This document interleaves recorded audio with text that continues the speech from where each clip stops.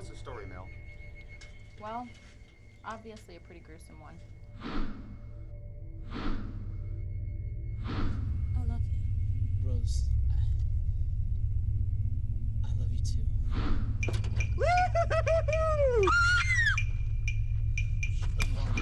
Leave us alone, Jake.